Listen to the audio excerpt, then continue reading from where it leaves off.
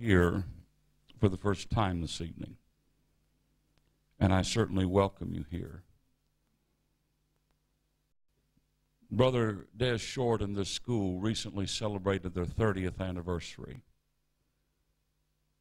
Two nights before I came here, I was awakened in the middle of the night. The Lord said, Go write this down so you won't forget it. And He gave me Ezekiel chapter 1, verse 1. Don't turn, just listen. It said, As the prophet declared, in the 30th year the heavens were opened. And yet the Hebrew reads, In my 30th year the heavens were opened. It happened when Ezekiel was 30 years of age as a type prefiguring our Lord Jesus Christ, who went to the Jordan at what age? 30. And with Jesus, the heavens opened at the age of 30, and they stayed open. And the Lord said, When you get to New Zealand, tell brother, tell the people that the heavens have opened over this place. Now, I cannot speak for you. I told my wife on the phone this afternoon, I said, Sweetheart, it's something. I said this, the, the, the, the presence of God, the manifest presence of God, has settled down over this place. Not just in the meetings. If you're sensitive to the Holy Ghost, it's just settling down over this campus. I pray this area. Not because Varner's here, but because of the season that the Lord has ordained for all of you.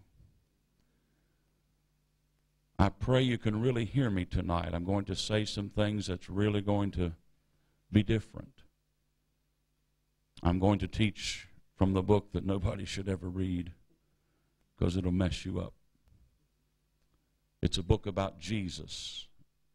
And as we begin tonight, I'm going to show you how soundly he defeated Satan and that he is the seed of Abraham and the seed of David. He has the land and the throne the earth and the right to rule it. For some of you tonight, this may rock your boat. All I can do is present it. What you do with it, your business. If you're a preacher, you'll be held accountable by the Lord to preach the truth, not tradition. When I was in Chatsworth, the southern part of Durban, South Africa, preaching in front of 2,000 preachers, mostly East Indian, I watched the Holy Ghost draw a line in the sand, and I said, Brethren, after you hear this, you'll have to decide which feast you're going to preach and where you're going to walk. And the Lord did that. I don't think He's that serious tonight about it, especially where the preachers are concerned, but rather just the proclamation of truth.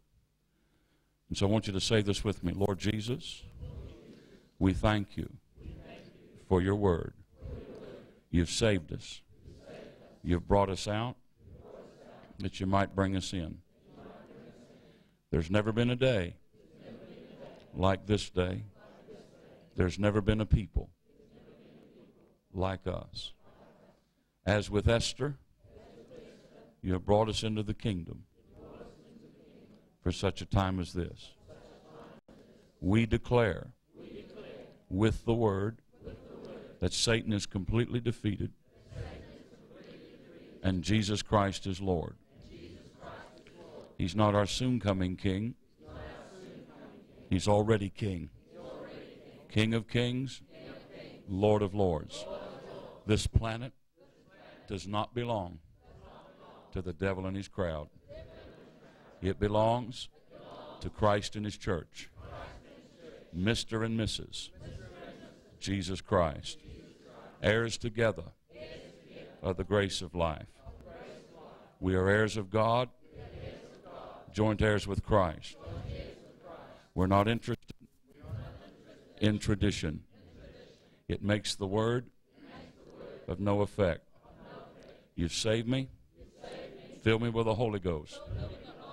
He's my teacher. He wrote the word.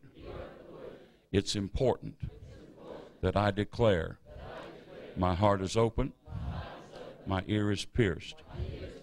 And if it comes to a choice, between truth and what I've been taught that is not true, there is no choice. I am willing to live and to grow and to change. Help me tonight. I declare that I and the person next to me and each one here will be changed by the living word. If you believe that, praise the Lord with me.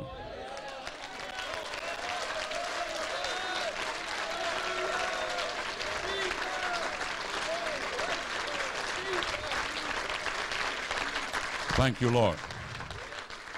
You may be seated.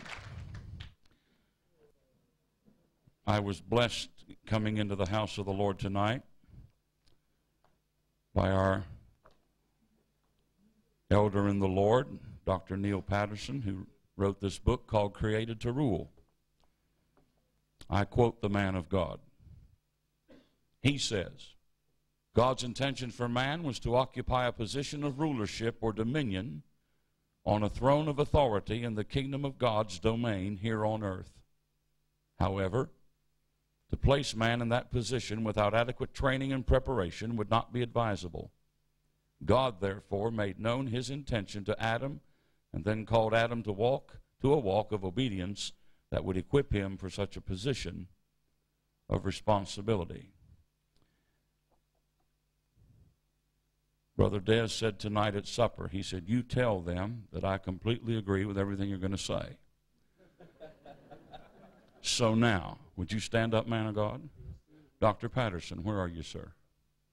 Would you please stand? You see these two elders? Get mad at them. You may be seated.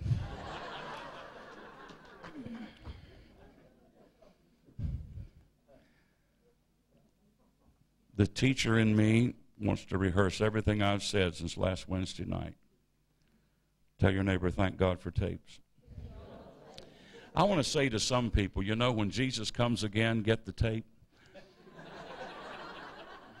But uh,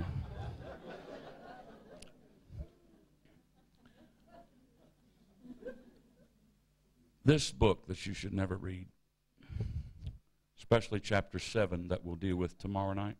You should never read that chapter, especially. Whose right it is sounds highfalutin. How's that for a Kiwi word? A handbook of covenantal theology sounds almost ominous. It's the biggest book I've ever written, over 300 pages. And it was like the pearl that's formed by an irritation.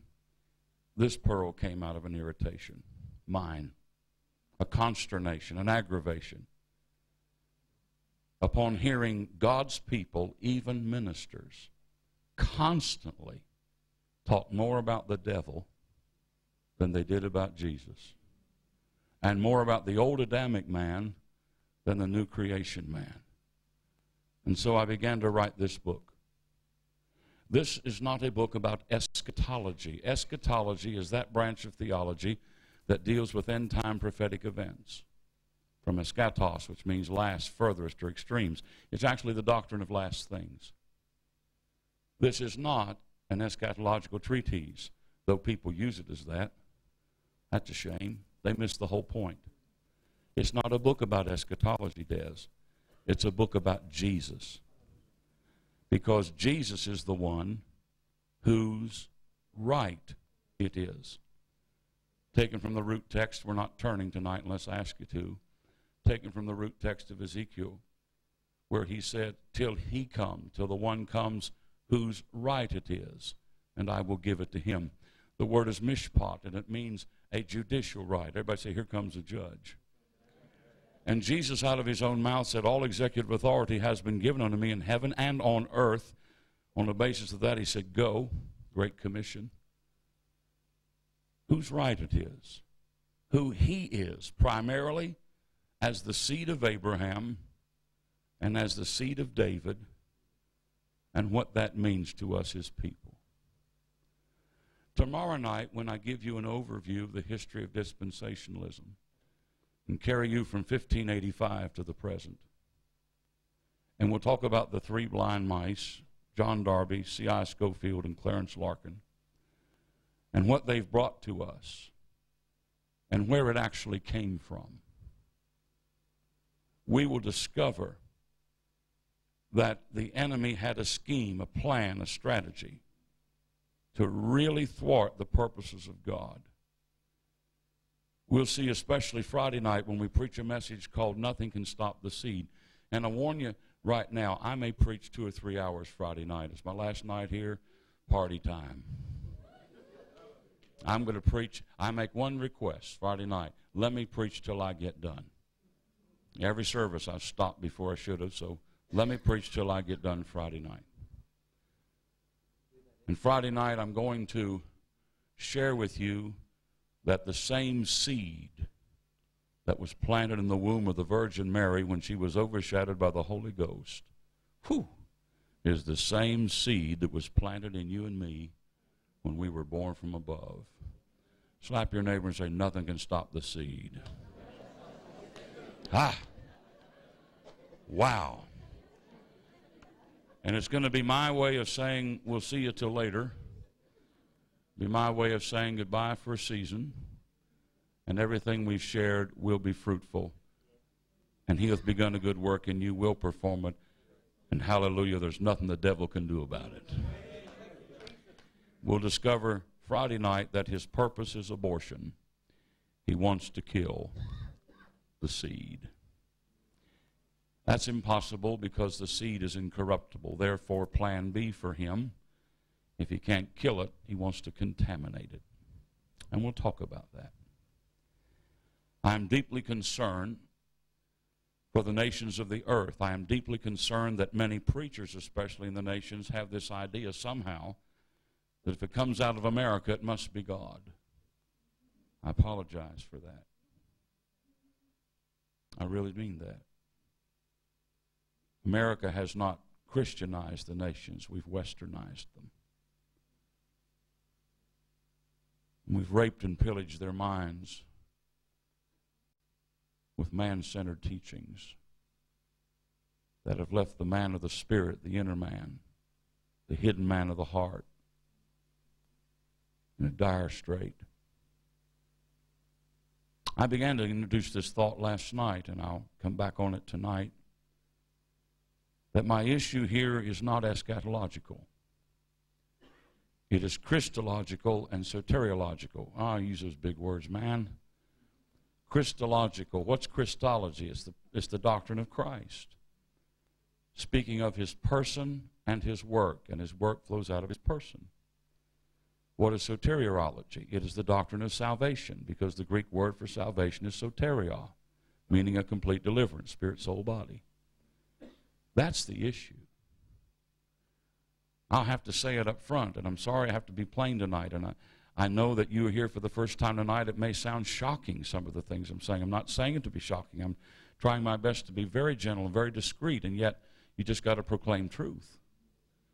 And when you proclaim truth, you understand something. As when you look at history, you understand that Scofield's thinking, and you may not even know who Scofield was. But the popular views of eschatology and the coming of the Lord and all of that stuff, at its very root and bases and foundation, there's one simple truth a dichotomy between the natural Jew and the church. Americans are absolutely obsessed with a natural land, a natural people, and a natural temple. They're obsessed with it. Maybe you are too. I don't know. But let me say from the outset tell your neighbor he's not here to mess with you. Tell him. Tell your neighbor, tell your neighbor he knows you're going to believe what you want to anyway. Tell him. So, some of you are going to be tormented tonight because you're, want, you're going to want to pick a fight, you're going to want to feud, and I'm just not in the mood. Well, I'll, I'll just draw a circle, preacher, and, and exclude you. Have at it. I'll draw a bigger circle and put you back in. You know. I'm not here to change your mind. I'm not here to tell you what to believe. You're going to believe what you want to. I just pray in Jesus' name you use the Bible when you do it. I just pray in Jesus' name you can use history to corroborate it. Because God's given you history for your mind and the Bible for your heart. Now, the whole issue here is who is Jesus? And then by extension, who are we in him? He is the vine, we are the branch. You understand that? I could just quote two scriptures and we could go have tea, okay? I could quote you Matthew 1 and 1, where it says, This is the generation, singular generation of Jesus Christ. He says there he's the son of David and the son of Abraham. He's the son of the seed of Abraham. He's the son of the seed of David. Matthew 1 1. That's who he is. Now, what's all that mean? It would take hours to tell you what that means. I've written it down. I can't even get to the Davidic covenant tonight. Can't touch it, Des. It's based on the father son relationship. Promised him a family, a throne, a posterity. I can't even go there. I'd love to go there. I'd like to go to all the Davidic Psalms, Psalms 89, Psalms 132, and all of those that back that thing up. I, lo- I did in the book. But every time I preach this, I get so long winded, I never get to the Davidic covenant. Sorry. Because when you look at Jesus as the seed of Abraham and the seed of David, one more scripture, let's go have tea. 1 John 4 17. What's it say? As he is, so are we, there's the corporate thing, where? In this world. Not when we die and go to heaven. As he is. And who is he? Talk to me. Seed of Abraham, seed of David. So if he's the seed of Abraham, who are we? Seed of Abraham. Hello? If he's the seed of David, who are we? Seed of David. Where? In this world. Now, what's that mean? That's what I want to talk about tonight. I'm not talking about eschatology. I'm talking about identity. Who are you? Until you know who you are, you don't know what you have. And you sure don't know how to get it. The enemy is absolutely tormented. I'm a target. Why? Because I tell people who they are in Christ and what they have in Christ and how to get it. I'm dangerous. You ought to be too. The gospel's the what? Good news, not the bad news. The good news is the devil's defeated and Jesus is Lord. If you believe that, jump up and shout. Do it! Hey! Looking at me like a bird watcher and a fruit inspector. Feel like preaching a little bit tonight. Haven't preached yet. No, got too much ground to cover. I have 15 pages of single space notes. You think I got time to preach? That's why I'm leaving all of my notes with this, honestly. Whose right it is? Concepts. There it is. 15 pages. Better get to it. I began last night with a message called what? The church's relevance in the earth. I'm not going back into that. It, it introduced this thing. And we shared with you last night the concept that Jesus is the seed of Abraham. As such, he's been given the land, not a tract of land over in the Middle East Read Romans 4. Anytime something comes to the New Testament, the Holy Ghost grabs it, it gets bigger and better. It says Abraham was heir of the world. Hello?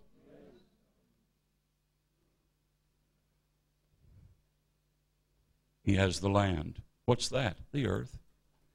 He has the throne, thronos, place or seat of authority. It means a, a, a, a state chair, a, a seat of government that has a footstool. Too much to teach. Thronos, a place or seat of authority. That's not a chair up, up there or over there.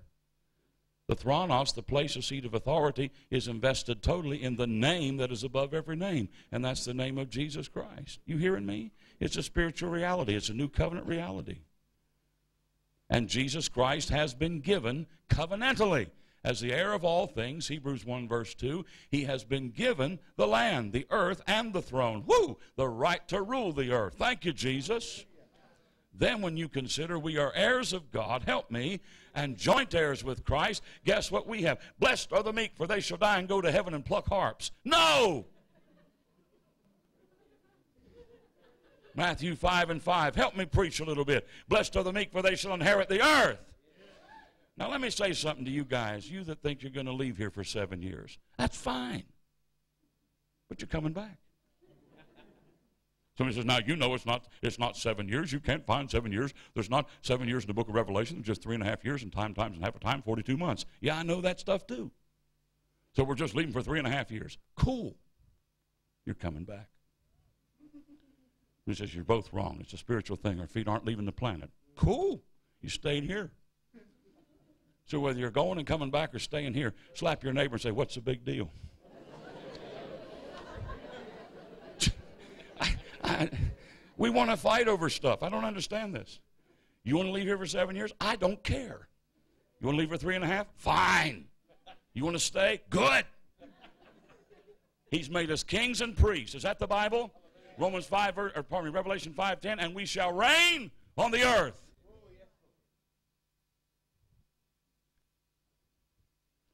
We got our theology out of the songbook, not the book.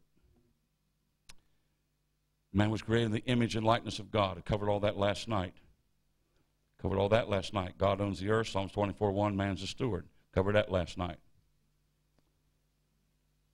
The conclusion from last night. Should have been here last night.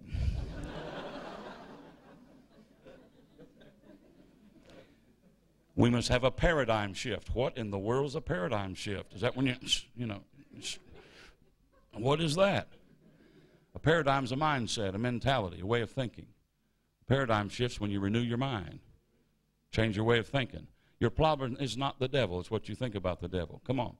We must have a paradigm shift away from traditional dispensationalism, and I realize that there's an aspect of dispensationalism by use of the word, as Dr. Patterson showed me today, and I knew that, that, that it deals with certain, you know, times and seasons. But I'm using dispensationalism because that's the word everybody can relate to. It's also known as futurism because it takes a lot of these things.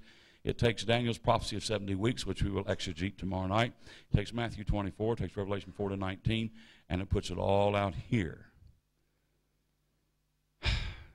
My message last night is we need to reevaluate, we need to reconsider the relevance of the church and the earth, our purpose, why we are here. I showed you last night we are salt, light, and witness, and the earth's only hope in Christ. The enemy's plan is to evacuate us from the earth and from history.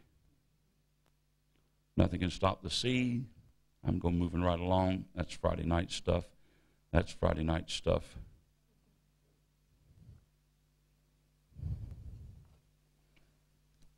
Now, I told you I was going to begin tonight by giving you three Pentecostal traditions about the devil. Why do I want to do that? because you can't get into this without understanding how defeated he is and that Jesus is Lord. Pure Scofieldian dispensationalism is very pessimistic. In my mind, it's immoral.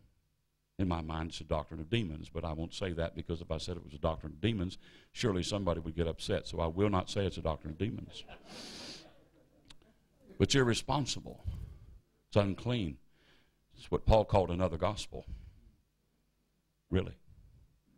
Because in its purest sense, when Scofield wrote his Bible in 1909, now they fudged in 1917 when they revised it.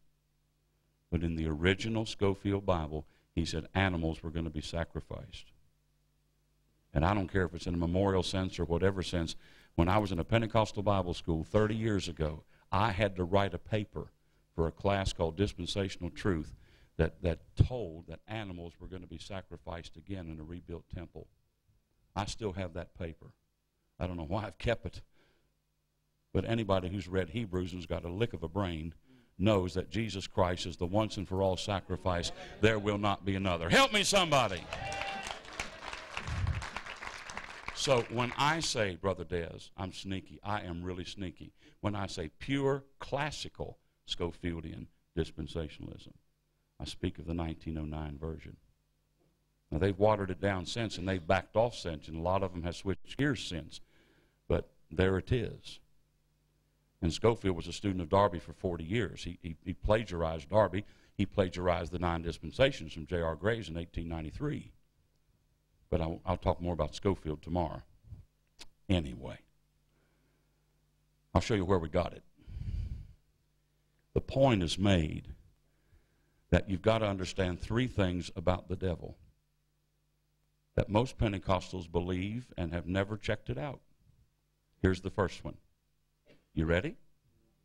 Tell your neighbor, say, the devil is not God's adversary. Now, I know that's a semantic, and I know I could be cute in saying it that way, but this is what I mean by that, okay?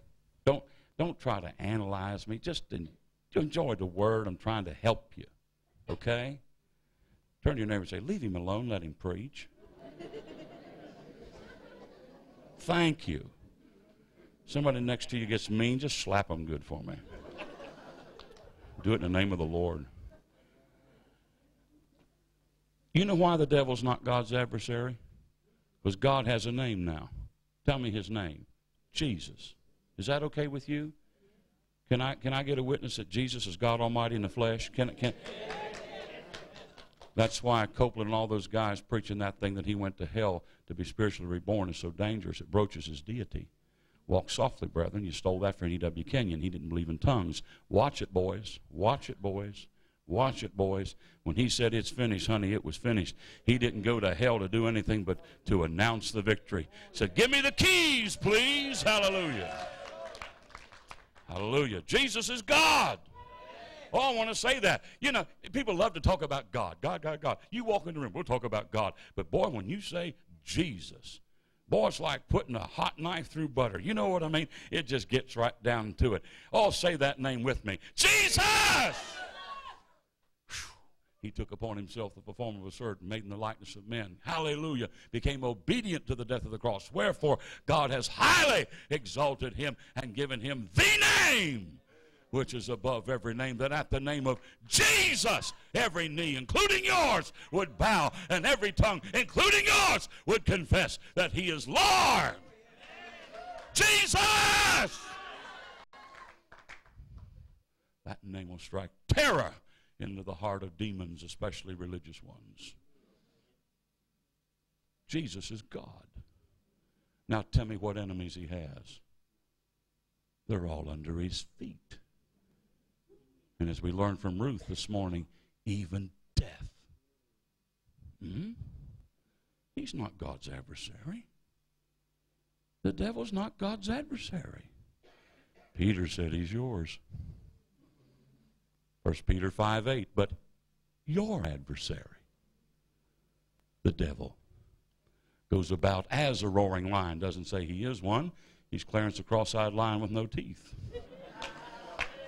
seeking whom he may devour or swallow up. And baby, he's got to find you first. Where are you? I'm quoting your Bible. You have died, and your life is hid with Christ in God. He's got to find you first.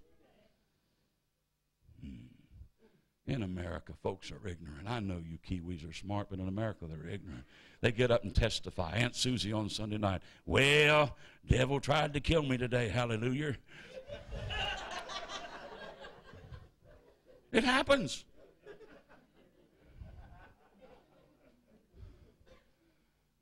I tried to get to church tonight, but I had a flat tire. Devil gave me a flat tire. Thank you, Jesus. Wait a minute, Aunt Susie. Every flat tire I ever saw had a hole in it. You can laugh. It's not funny. In America, Pentecostal, tongue talking people talk more about the devil than they do about our Lord. It's tragic. No wonder Hosea said in 6 and 4, My people are destroyed for lack of knowledge. That's why I wrote the book, Des. To show them that the devil's defeated and Jesus is Lord. That's the first two thirds of that book. The eschatological application, that's just gravy, man. The book's about Jesus. And so let me correct myself. Read this book. Eat it, guts, feathers, and all. And when you read it, go hog wild and slop crazy. It's about Jesus. You want to know who Jesus is and how soundly he defeated the evil one? Read this book. I have eight absolutes in here on how soundly he defeated him. I can't give you all those tonight. He spoiled principalities and powers, Colossians 2.15. He slew the giant, David and Goliath. He bound the strong man because he was the stronger man. Isaiah 27.1, he was the dragon slayer. He slew the dragon in the midst of the sea, teeming masses of unregenerate humanity. On it goes, all the way down to he abolished death and then divided the spoils. Eight absolutes they're not going to change. The devil's defeated. Jesus is Lord. Satan is not God's adversary. He's yours. second Pentecostal tradition. Satan has never had jurisdiction of this planet. Never. Kenyon and Copeland and all the boys say that Adam committed high treason and turned it all over to the devil. Cap says there's a lease on this thing. Read it again, boys. Mm-mm. There's a difference, number one, between the earth and the world, which is the transient cosmos. In the temptation of Matthew 4, the devil showed Jesus all the kingdoms of the cosmos, a transient thing. Cosmos, cosmetic, melts in the fire, won't last. There's a difference between the world and the earth. In 2 Peter 3, there's three worlds. The world that then was, Noah's world. God destroyed that world, but the earth remained. There's a our world reserved unto fire. That's the word. There's a third world wherein dwells righteousness. That's the kingdom. Too much to teach there. Don't worry about that. Take that, put that there. All I'm saying is there's a difference between the earth and the world. Satan is the God and prince of this world system. Come on. John 12, 31, 2 Corinthians 4, 4. All right? He's the God and prince of this world system, just like Pharaoh was the God and prince of Egypt. But the earth, help me, someone, is, is the Lord's. Psalms 24, 1. You understand that? Satan has never had authority here. And when Adam did commit high treason, God said, I'll take the keys, I'll take the, I'll take the title deed, I'll take the little book, however you want to talk that, and I'm going to hold it on until he comes, whose right it is. And I'll give it to him. Galatians says, until the seed should come, to whom the promise was made. God retained that. The devil's never had it. So trash that song. We're going in the enemy's camp, take back what he stole from me. Idiots. You call me an idiot? No. I call the song idiotic. Oh, that bounced off the walls. Why sing stuff that isn't true? Well, I like the tempo. Well, go to the nightclub. go to the pub. Keep that mess out of church. 1 Samuel 30, a type of Jesus. He recovered it all. David recovered it all. If the devil did steal anything, Jesus recovered it. So what are you going to the enemy's camp and doing?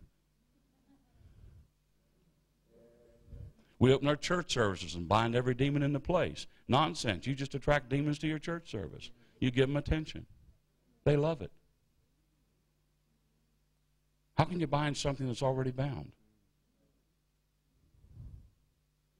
Slap your neighbor and say, He's making me think already.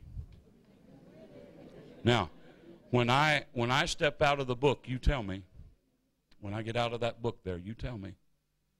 What's the first Pentecostal tradition? Satan is not God's adversary. He's yours. What's the second one? He's never had authority.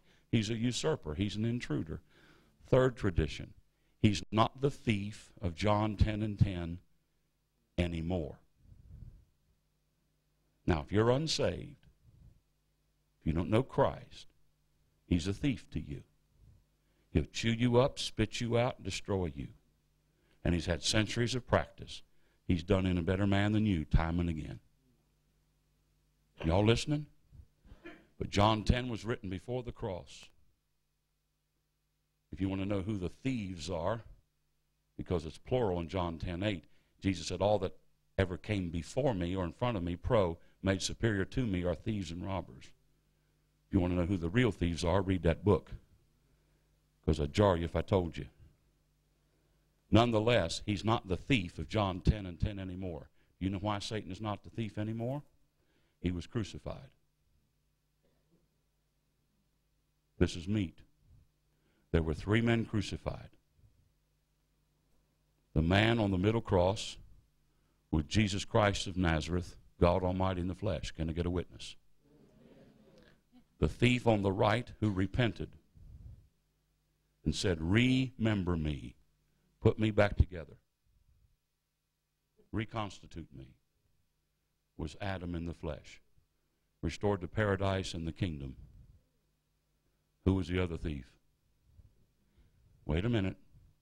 In the temptation, Luke 4, verse 3, verse 9, the same one who said, If you be the Son of God. And then in Luke 4:13, departed for a season to return that awful day to be dealt with. In Luke 23:39 said, "If you be the Christ, get us off of here." It was Satan in the flesh. And in the one final, once and for all, all inclusive, powerful power of God, the proclamation of the cross is the power of God. Because in that one grand operation, it is finished. He dealt a final death blow to the first man, Adam, and for this purpose the Son of God was manifested that he might destroy the works of the devil. He did it at the cross. Oh, come on. Colossians 2 and 15, he embarrassed and spoiled principalities and powers in that cross.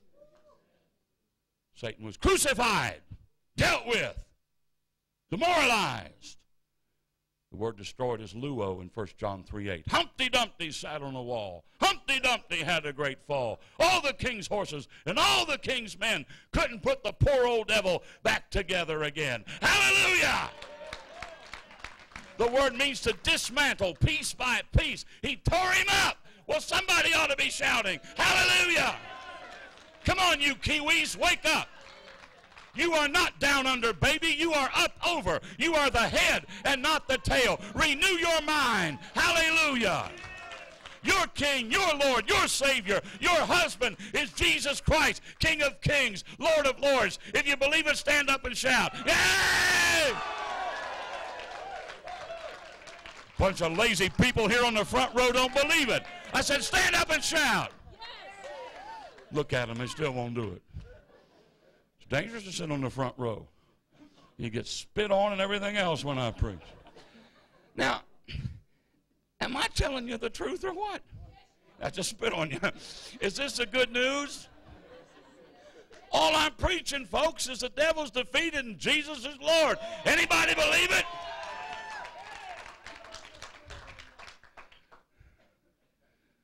Gee whiz. He's crucified.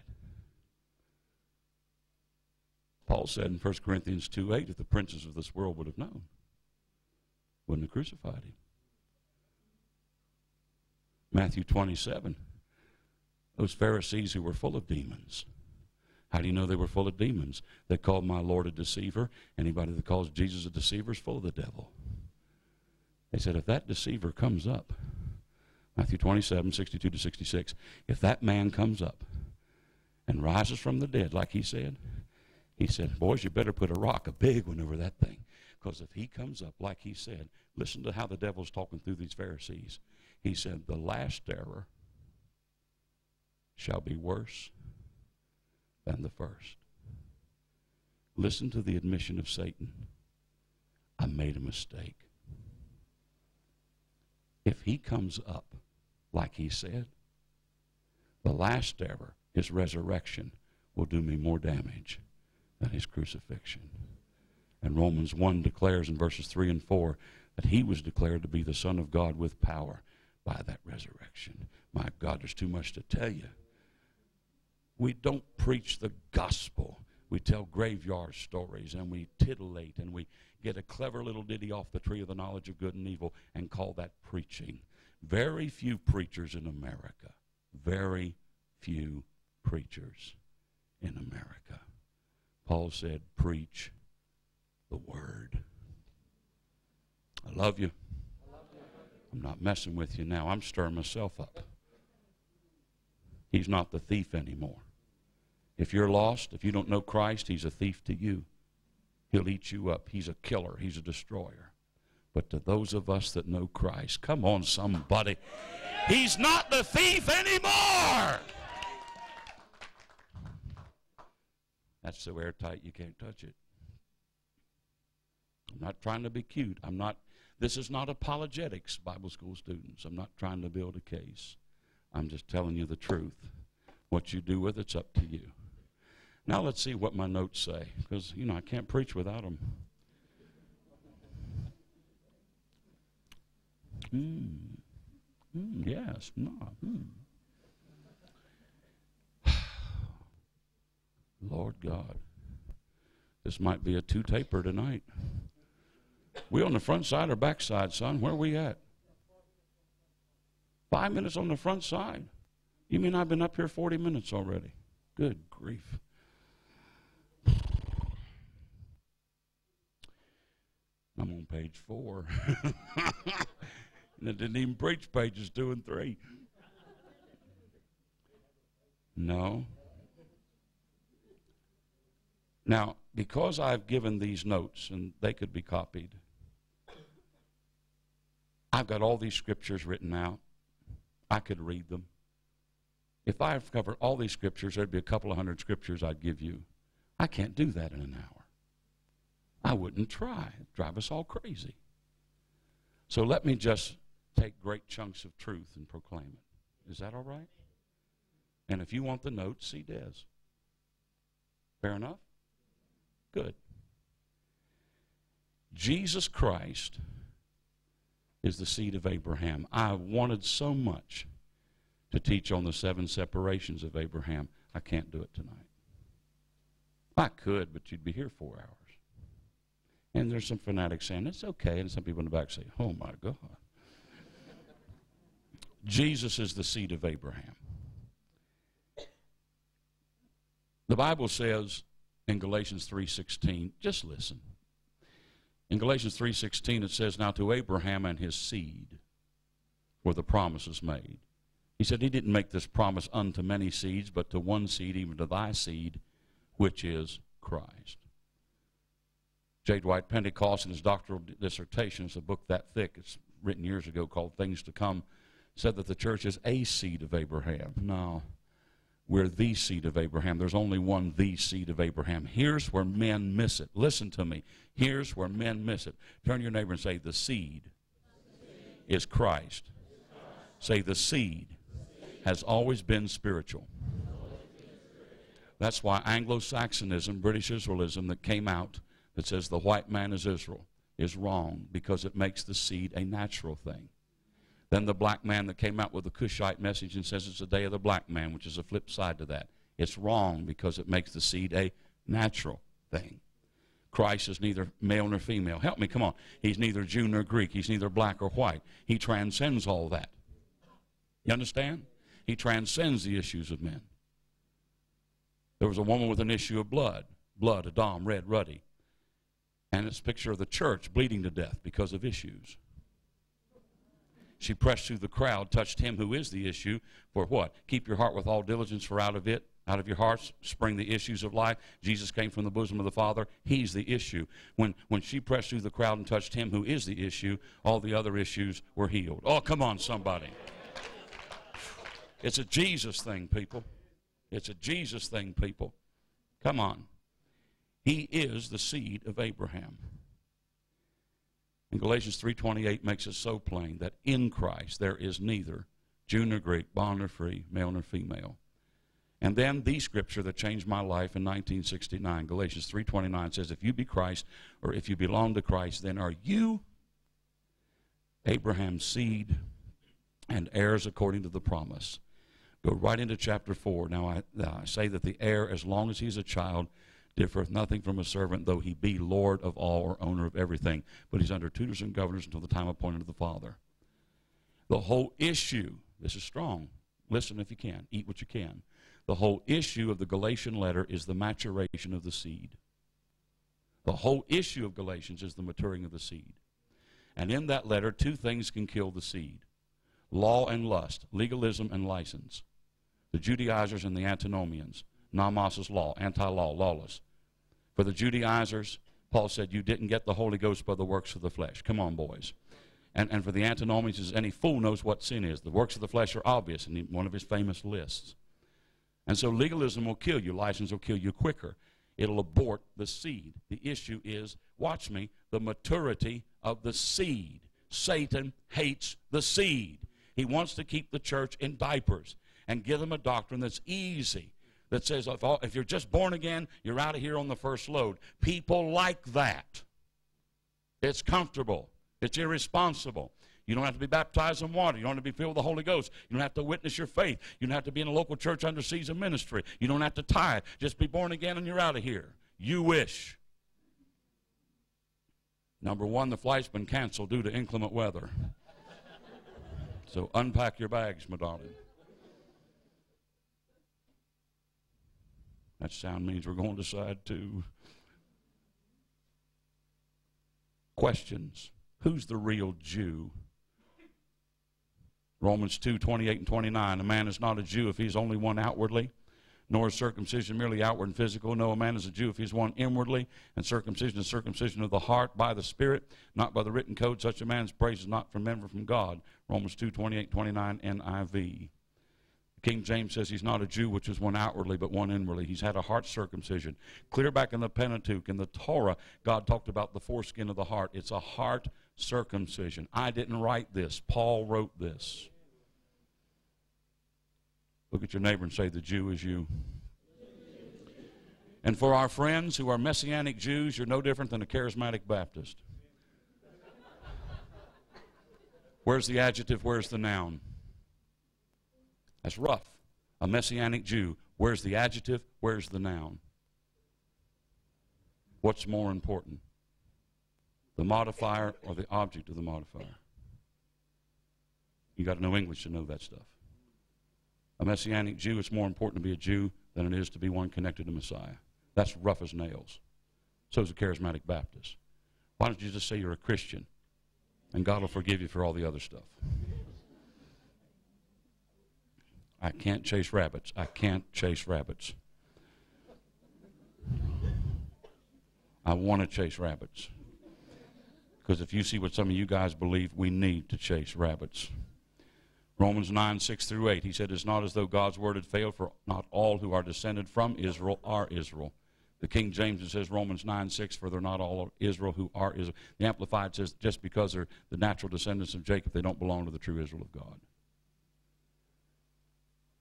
He goes on to say in verse 8, he says, In other words, it is not the natural children who are God's children, but it's the children of the promise who are regarded as Abraham's offspring.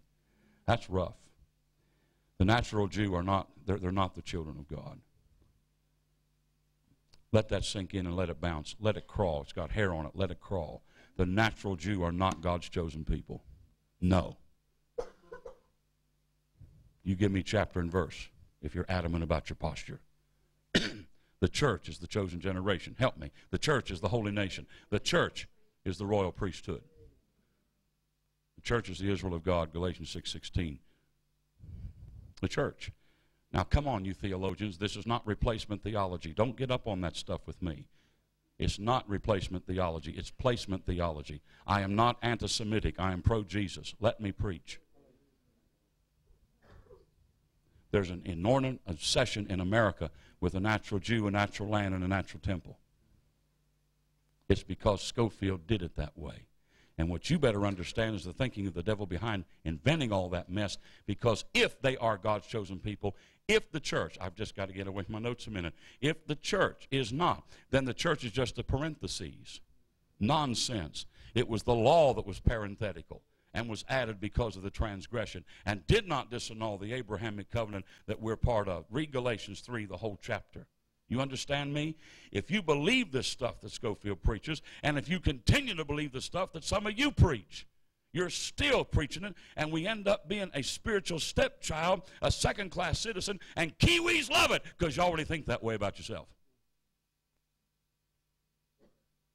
I might get killed for the night's out, and this crowd might get mean, but I will tell you the truth. And you know why you like to think that way about yourself? No responsibilities. just a fierce independence. You can't come in here and talk to us this way and argue with the one who sent me. I'm not afraid of your faces.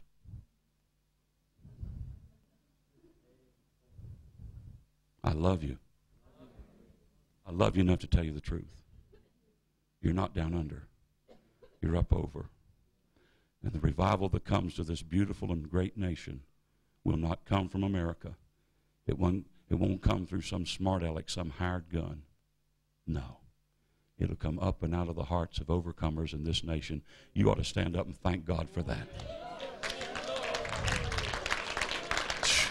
Sit down. That was a pitiful stand up and thank God. So just, just sit down. Just sit down. Whew. Brother Varner, I need some more proof. Well, that's what I've got notes for. John the Baptist came. He was a prophet. They didn't like him.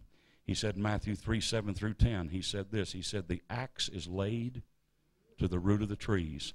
Des, I've got scriptures out of 1 Kings, Psalms, Isaiah, Jeremiah, Hosea, Malachi of what the prophet said about God said, if you continue, Old Testament Israel, to continue in your idolatry, God's going to put the axe, He's going to put the thing to the root. They did, and He did. And He laid the axe to the root of the tree. Watch me now, watch me now, watch me now. And He cut that tree down. And He planted a brand new vine in the earth, John 15. And Jesus Christ is the true or genuine vine, and the branches of that planting are men and women from all nations. Come on, somebody. Yes. And now that Christ has come, there's neither Jew nor Greek. I'm going to say the most powerful thing I'm going to say all night is the word of wisdom. It will end the argument that's in the room. You ready? I have no advantage over the natural Jew, and he has none over me. We both must be born again by faith.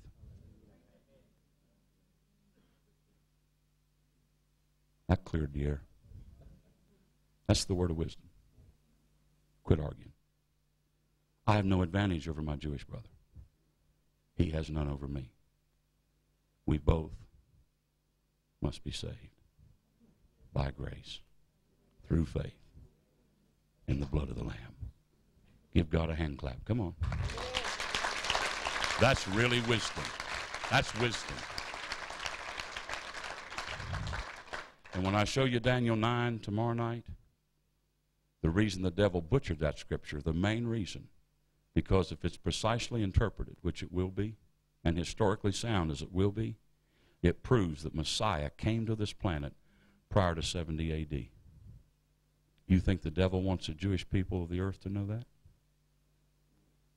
See, Paul said we're not ignorant of his devices, noema, his thoughts, his schemes, his strategies. Get the thinking behind this stuff. As I told the Bible school students, use your head for something besides a hat rack. Think this through. The purpose of the evil one. If I don't get through these notes, I don't really care. I'm leaving them with Des. You got to hear my heart because I love you people. The greatest need throughout your great nation, whoever you are and wherever you're from and whatever you believe, your greatest need is to discover all that you are in Christ. The devil's ploy is to keep you from ever knowing that. 2 Corinthians 4 to blind your mind lest you believe it. And he wants to keep you into a state of immaturity. The heir, now I say the heir as long as he's a child, different nothing from a servant though he be Lord of all. The issues maturity, the tutors and governors of the fivefold ministry to bring you to maturity. When Jesus left here, he didn't leave bishops in the earth. God, he didn't leave popes. He didn't leave cardinals. He didn't even leave elders and deacons. He left apostles and prophets and evangelists and pastors and teachers, and that and that alone will mature the church. Hallelujah. I got a hallelujah. How about this side? Now, obviously, tell your neighbor this is not a sermonette for Christianettes. Tell them.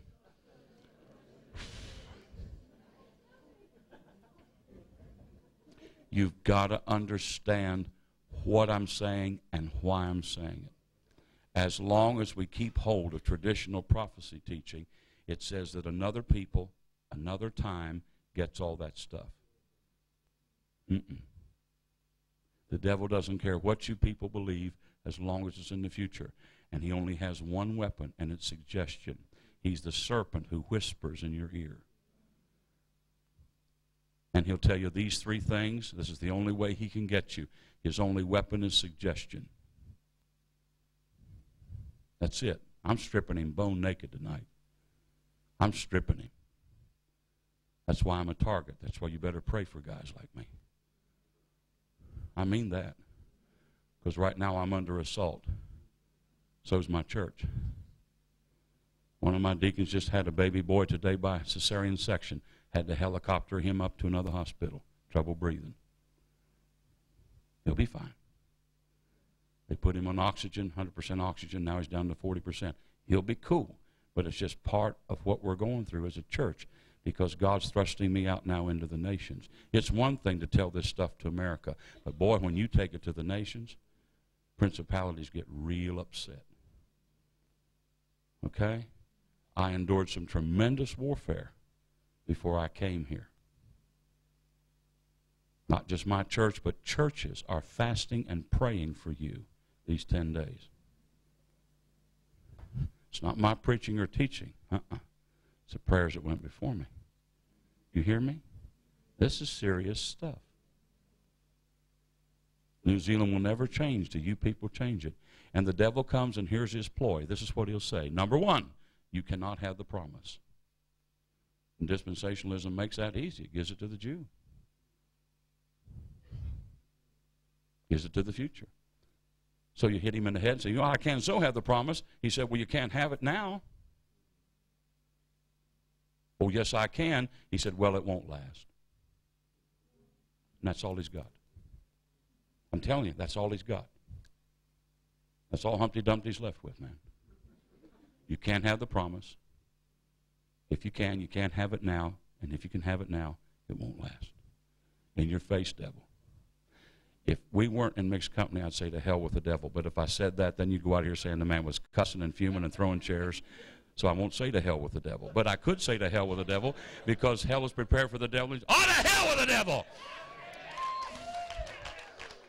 That'll look good on tape. Come on, you preachers. Don't you ever feel like that? We can have the promise. My God, we are the promise. We can have it now. The promises of God are yes and amen. And it will last. He's the Alpha, the Omega, the beginning and the ending. His promises are immutable. There won't be another priesthood. This is it. Still just preaching about Jesus. Let's see where I am on my notes. These are great notes. Jesus got perturbed one afternoon. Looked the Pharisees down the gun barrel and said in Matthew 21, 42 and 43, he said, The kingdom is taken from you and given to a nation that'll bring forth the fruit of it. 1 Peter 2 9 says that nation is the holy nation, is the church. Matthew 3 7 through 12 says, Bring forth fruit meet for repentance. That's Old English. it means produce fruit that proves you've repented. The New Testament criterion for being a Christian is not whether you're a Jew or a Greek or a Russian or white or black or male or female or pretty or ugly. It is, are you bearing fruit? Fruit is his nature, his character. Are you like Christ? That is what a Christian is. You hear me? Jesus said, It's taken from you, boys, and given to a nation that produces the fruit of it.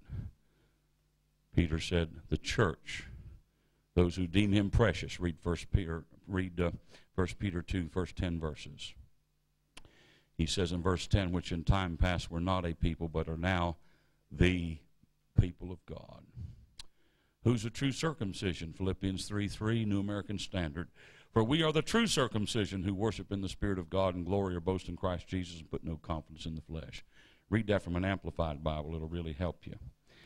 Well, preacher Varner, what about what about Jerusalem? Let's talk about Jerusalem. Paul talked about Jerusalem. Whew, man, I haven't got to anything I want to say tonight. I'm going to say this and get on with it. Galatians 4 21 to 31 is an allegory. Old Testament, New Testament, earthly Jerusalem, heavenly Jerusalem. One genders to bondage, the other's a mother of us all. I'm not going into all that. That's too much to tell you. We're not marching to Zion, Zion's marching. We're not looking for a city, we are the city. Hebrews 12 22 and 24 says what? Now you are come to Mount Zion. He said, Zion is the heavenly Jerusalem. He said, it's the church of the firstborn. I'm not here to debate. I'm tired even going through this. I feel like I'm preaching to the choir. I'd go in and talk about an Israelite indeed, The term Hebrew and Jew are man given terms, descendants of Eber, descendants of Judah. The term Israel is a God given term. Genesis 32 describes a man who's met God face to face, had his name or nature changed. I'd like to exegete that. Too much. Everybody say, thank God. Des has the notes.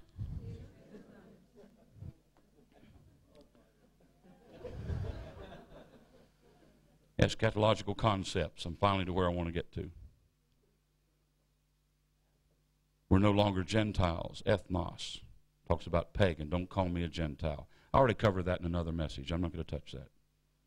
I'll just read the NIV of Ephesians 2 11 and 12. Therefore, remember that formerly you who were Gentiles by birth and called uncircumcised by those who call themselves the circumcision, he says, remember that at that time when you were lost, you were separate from Christ, excluding from citizenship in Israel, foreigners to the covenants of the promise, without hope, without God in the world. Don't insult Calvary's grace by calling me a Gentile. I preached that on another message. Get all the tapes.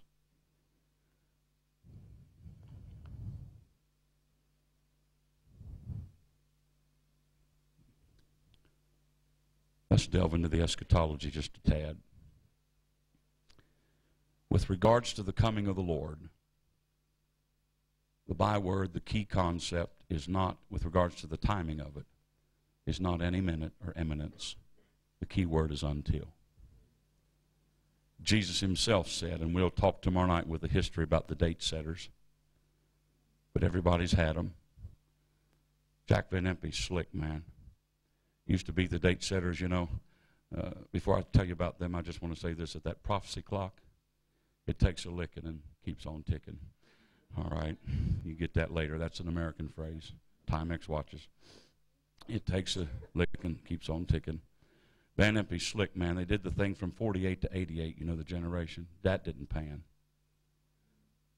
So now he's taken it from 67 to 2007, bought him seven more years so he could pan, panhandle his wares. He's slick. And you think just because he can quote the Bible, a parrot can quote the Bible. You knocking Jack Van Impe? No.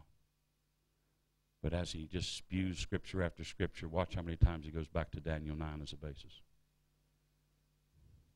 See, now you're mad because I picked out somebody and named him. Get over it. Well, I don't believe what you're preaching tonight. You've been wrong before. That's mean, isn't it? But just one or two zingers in the room. There's about three or four people in here that I'd like to talk to you personally after service. I might come up and do that because I know who you are. In this crowd, mm-hmm. how can you tell? You can tell. You can discern.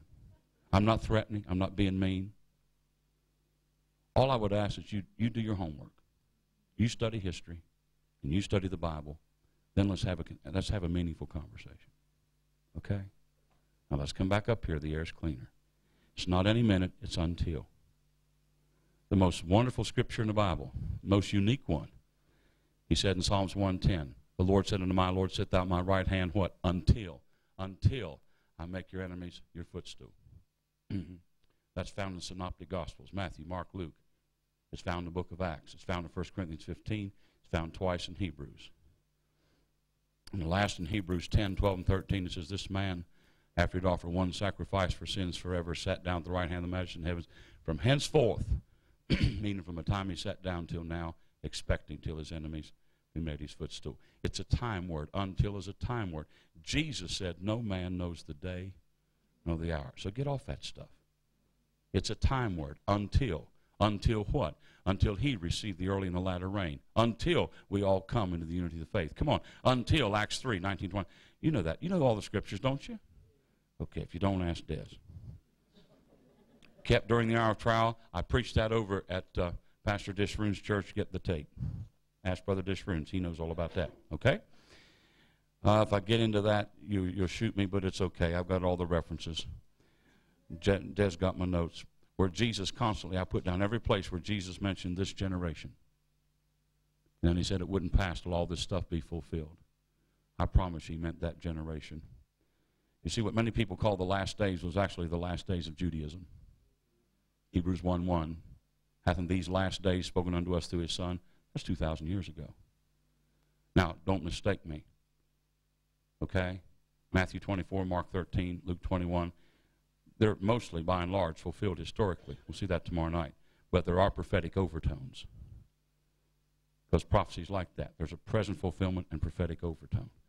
So do you believe those scriptures are historically fulfilled, or do they have prophetic overtones? Yes.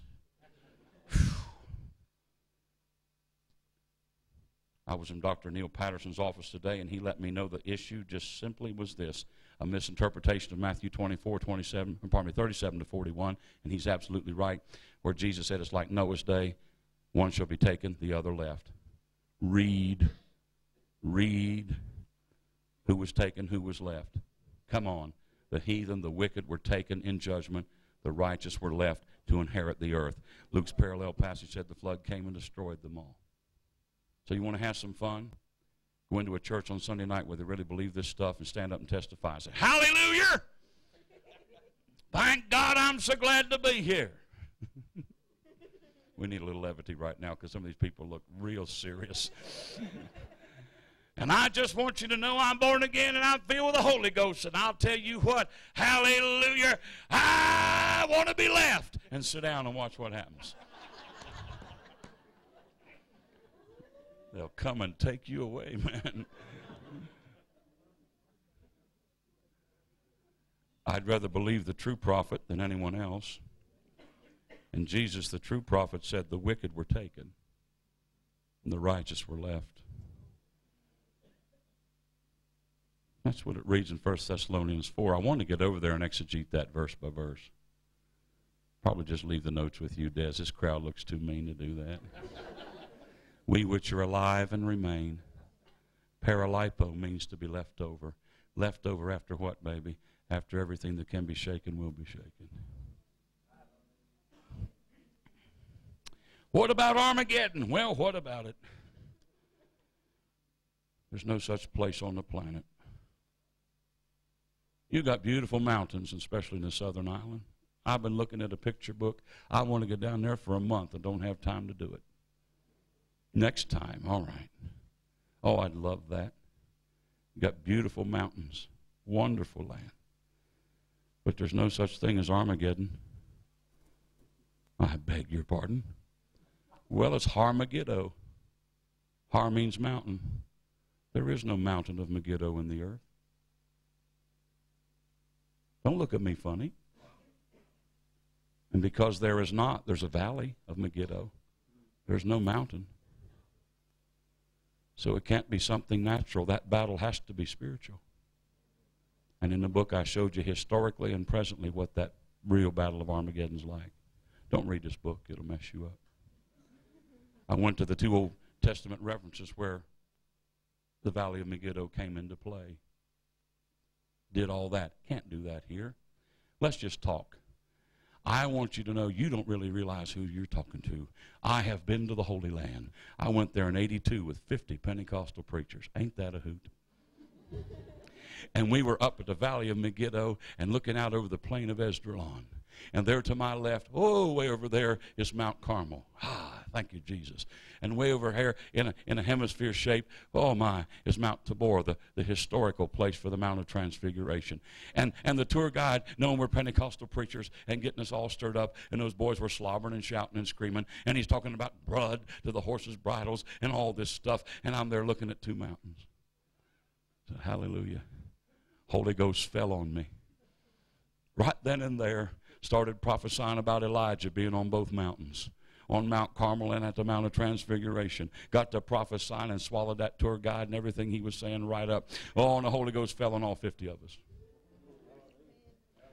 Tour guide came to me and said, uh, We're going to the Jordan tomorrow. You want to preach? I said, Does a cat have climbing gear? Does a bear run wild in the woods? Come on. I'm not a good swimmer, and it had been raining, and the Jordan was deep and wide and muddy. Oh, God, help me, Jesus. But I rolled my pants legs up. And I have stood in the muddy Jordan, and I preached the word. And when I did, hallelujah, the Holy Ghost fell on us again. Woo! I baptized 20 of those Pentecostal preachers in Jesus' name before they knew what hit them. And then they all got happy. Four of them jumped on me and baptized me. Hallelujah. I have been baptized in the Jordan River. So what?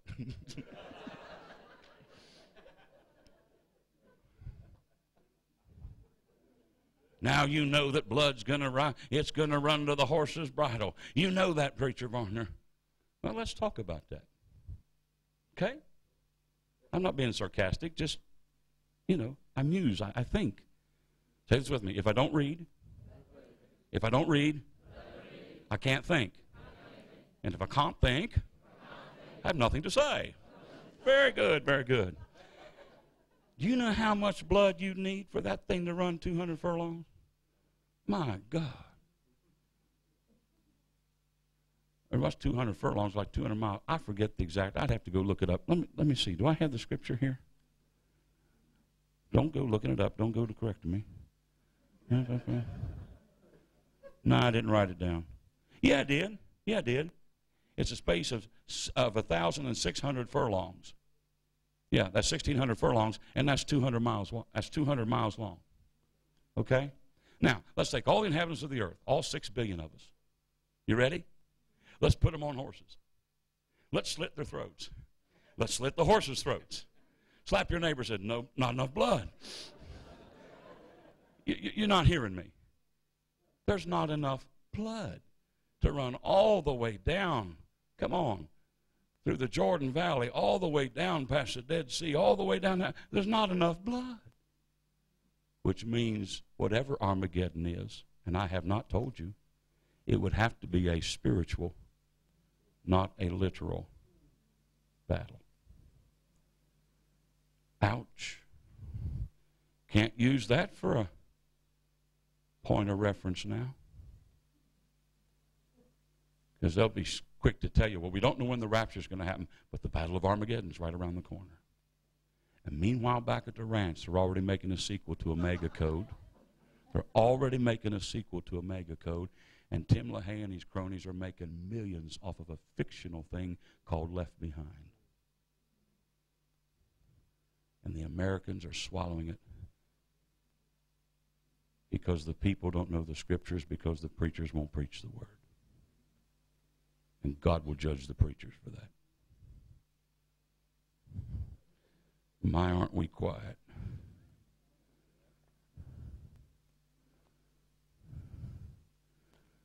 How much time we got, son, on that 90 minute tape?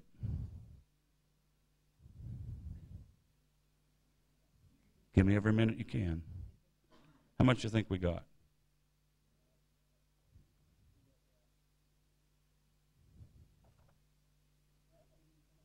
About 18 minutes. Sounds good to me. Let's go for 15. I'll quit at 9:30. If the tape runs out, it runs out. Come back tomorrow night. Tomorrow night we're going to look at the history of this. Let me close. What about this temple that's going to be rebuilt? What about this Antichrist that's going to sit in it?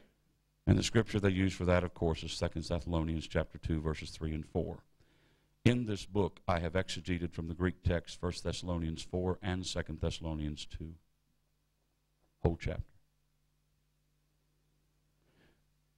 Anyway,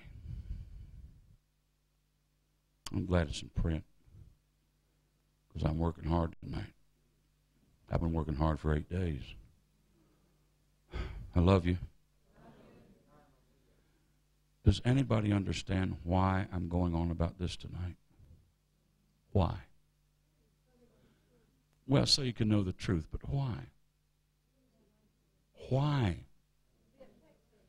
So not so that you can understand you have a responsibility as Abraham's seed and David's seed as Dr. Patterson says, to take dominion in the earth and to change your nation. That was last night's message. To occupy, come on, till he comes. You understand? I'm not going through all of this just so you'll have a proper paradigm. No. So that you will understand the issue here is not eschatology. The issue here is who you are in Jesus Christ and that you will grow up into him who is the head in all things. And as you grow in Him, you are increasingly more responsible, and He gives you more and more authority to do the work of the Lord and to go to the nations. Does this make any sense? The issue here, please hear me. Please, I beseech you. You've got to understand it. I'm not an American, and you're not a Kiwi. We're Christians. I'm not male. This lovely young lady is not female. We're Christians. I'm not an old geezer. She's not a young beauty. We're Christians. You hear me? Told me today. Told me today that they weren't called geezers. They are, in fact, told geysers. Jerk me around. Well, I'll tell you. I'm glad what Mama told me at supper. You're not speeding Jesus, you're flying Jesus. You all know what I'm talking about. It's the way he says he used to drive, and Mama says it wasn't that long ago.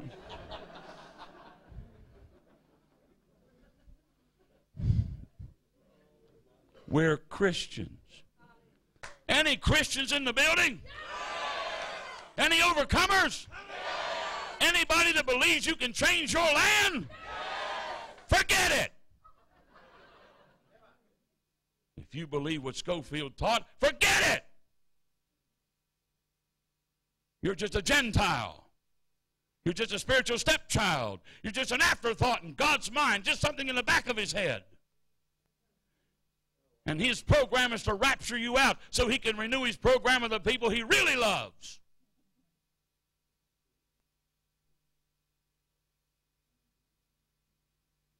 And the residuals of that kind of thinking.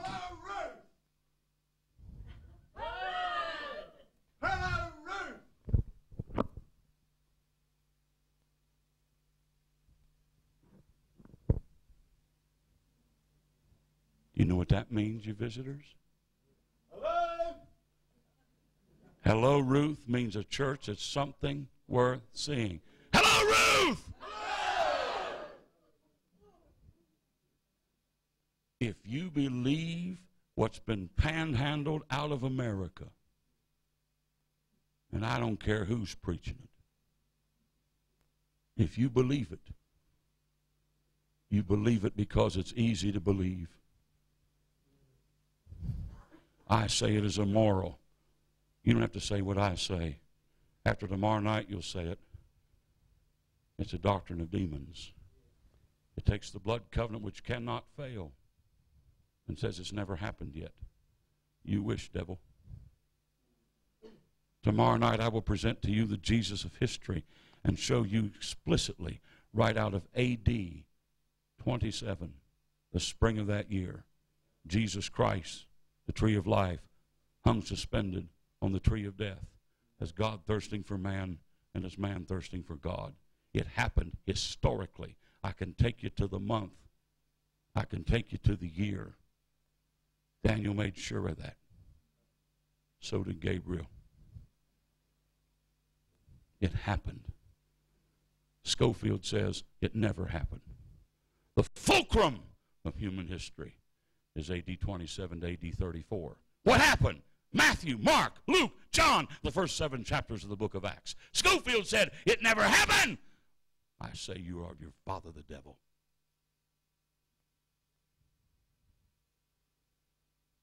Now, preacher, if you can go preach that stuff without investigating it, you got more courage than I have. And you will stand before the Lord. And you will tell him why.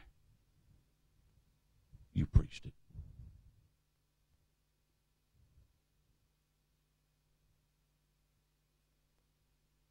The Lord's in this place.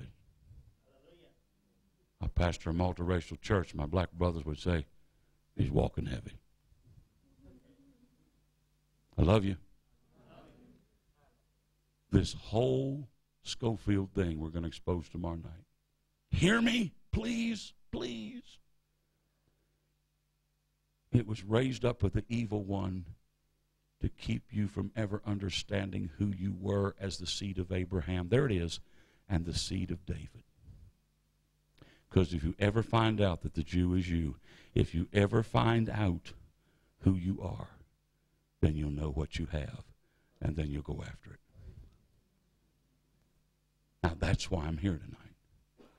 And I love you enough. I love you enough to tell you the enemy is terrified at the thought of me or anybody like me coming to your nation.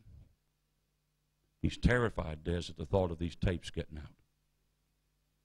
He's terrified. Because through the word of the Lord, this thing and the right spirit which I have, it is exposing him. You understand me?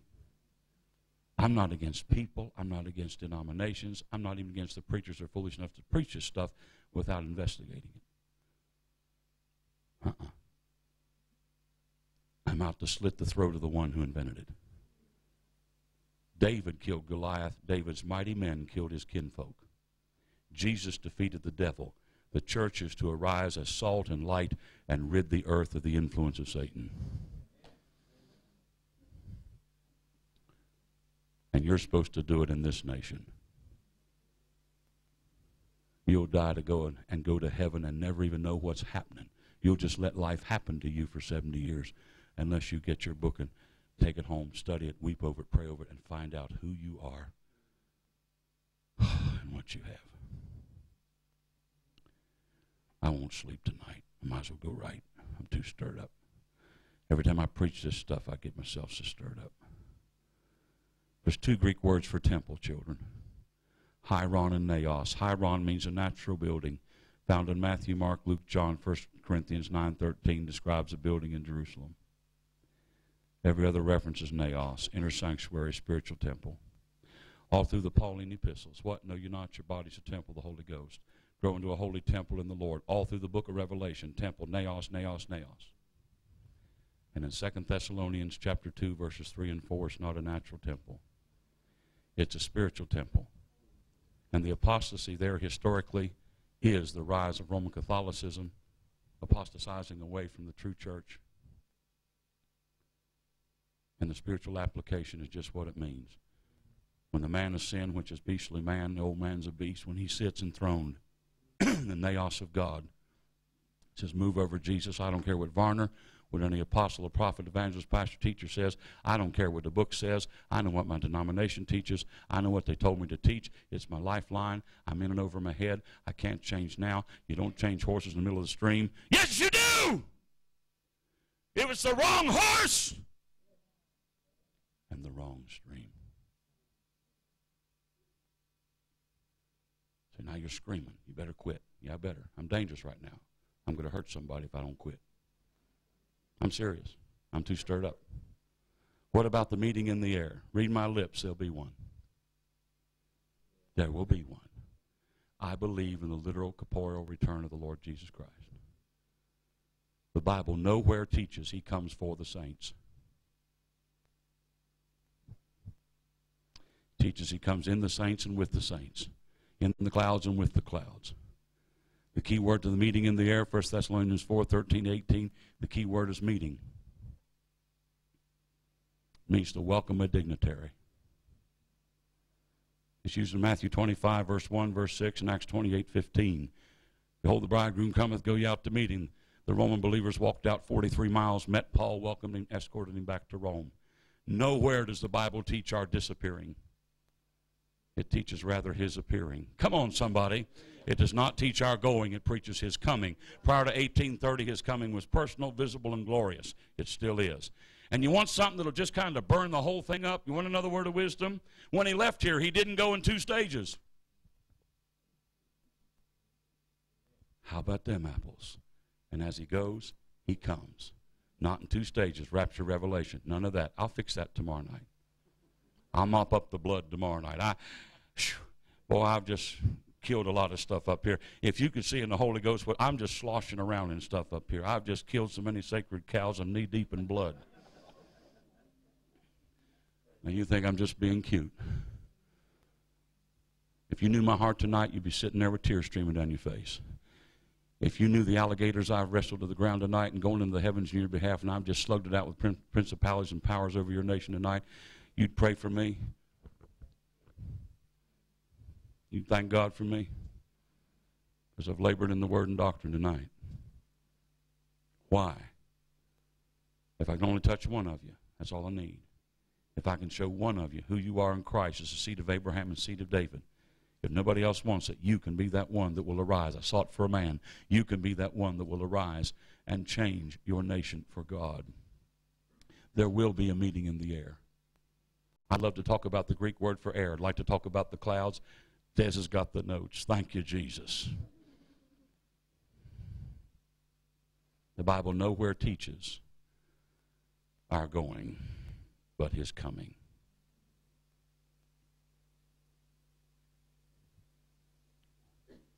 Well, I want to go there and get my reward. I want to go there and see Grandma. If Grandma died in Christ, he'll bring Grandma to see you. Shall not prevent those that are asleep, but those who died in Christ, those who sleep in Jesus, he will bring with him. Well, I want my reward.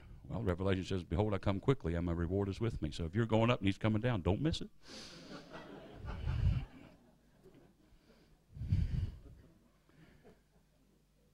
I'm going to say one more thing, and I'm worn out. I'm going to sit down. I'm so glad you have the notes. I'm so glad you have agreed with everything I've said. Because you're too nice for them to hurt. I love you. The truth that I proclaim tonight will not go away. It won't change. There it is. It's aimed for one thing tonight but if you people really understand the truth about whose right it is, you will arise as a people and change your nation. If not, you believe the lie that's come to you from America. Let the world go to hell. Give me my mansion. We can't change the world. We might as well leave it. That's what America preaches. And people love it. And they buy into it. Because all you have to do is be born again. You're out here on the first load you can reign without suffering. It's cute. Dream on, baby.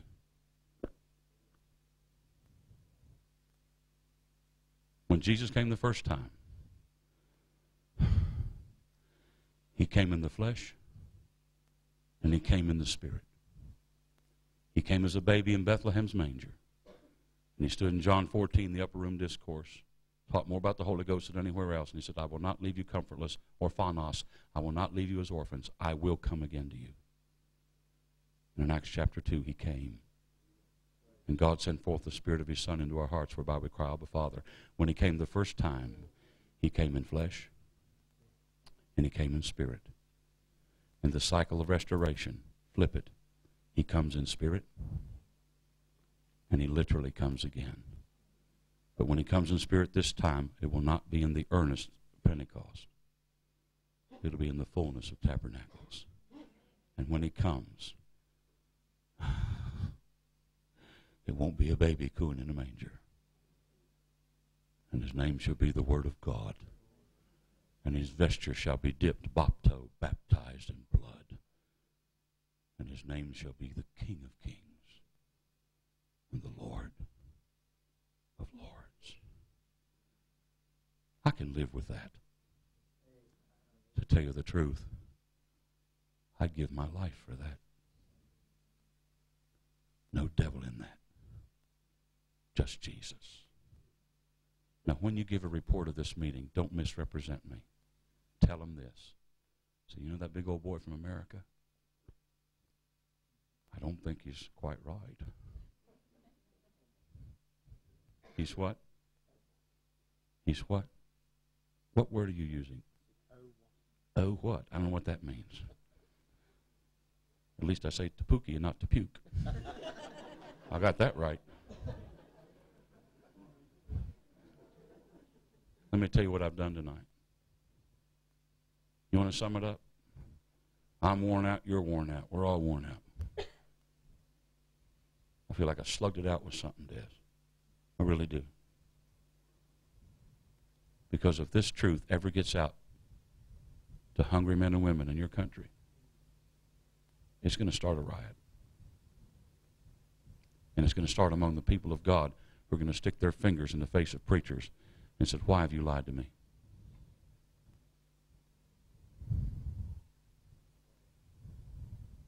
It's dangerous. That's why I pastored this room. You should never read that book. You're halfway through, Jack. Don't read chapter 10. Whatever you do. I love you. You're a prophet. You got a word in your mouth and you got courage to preach it. Don't you back off. Don't you back off, sir. I deem you a prophet in this company before God. You're a prophet. And there's a word of the Lord in your mouth. And I'll give you the word they gave me 30 years ago. You will kick the bricks out of men's foundations. There's a violence about you. I like it. You're not afraid. I love it. But I love you enough to tell you. Let it run out. It's off the record. I bear in my body the marks of the Lord. So will you. I love you. I'm your servant. If I can serve you, call on me. And he's not the only man that's in this room. He's not the only woman in this room. The tape's off now. This is just pure. This is extra. This is the free part.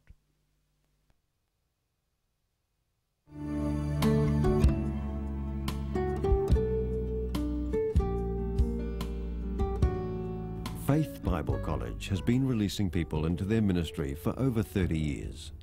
Established in 1969, this facility has had a profound impact on the lives of thousands of people from all over the world as they have come to learn of God's Word and be instructed in the fundamentals of Christian evangelism and teaching. Faith Bible College is situated 15 minutes from downtown Tauranga in the quiet rural setting of Welcome Bay and has plenty to offer students in their spare time. Great beaches, hot pools, waterfalls, walks, and plenty of on-the-edge activities.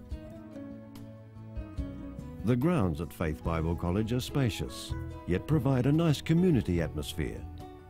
Accommodation is in the form of single rooms, married and family units, as well as shared dwellings, which cater for two to four people. Meals prepared by our qualified chefs are held in the dining room and provide an opportunity for relaxed fellowship. The teachers at Faith Bible College are among the most respected lecturers in New Zealand. The principal, Des Short, is a renowned speaker who provides significant insight into Christian teaching. The mission of the college is to glorify God and His Son, the Lord Jesus Christ, and to assist the church in fulfilling the mandate of the Great Commission, which is to preach the gospel and to make disciples of all the nations.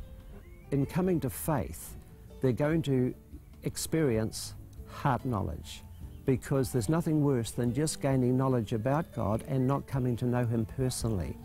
And what we've discovered with those that spend time with us here at Faith, they come to know the Lord in a very personal, intimate way. And then they're able to move out in the power of the Holy Spirit to manifest His character and His life wherever He leads them. There are a variety of courses available, and Faith Bible College invites applications from people who are committed to Jesus Christ and His kingdom. Students are admitted in February and July and are drawn from many ethnic and denominational backgrounds. But they share a common goal to communicate the gospel of Jesus Christ to today's world. I came to faith because of their involvement in missions and their focus on world evangelism. My confidence has grown a lot in the practical side of things like speaking in front of people because I've been taught how to do it. It's a very good Bible college. Uh, there's very good support, very good standard of lecturing, uh, covers a good range of subjects, and there's also a lot of support for personal growth and development as well. I found it extremely beneficial mixing with other Christians from other backgrounds. It's very quiet, it's well set out, it's a good place to be. The people here are really real. I mean, the lecturers are amazing and they're just easy to talk to.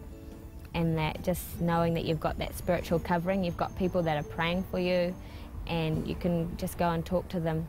And I love the environment. I love Tauranga, I love the surf and the beach. And it's just a neat place to take time out and spend time seeking God.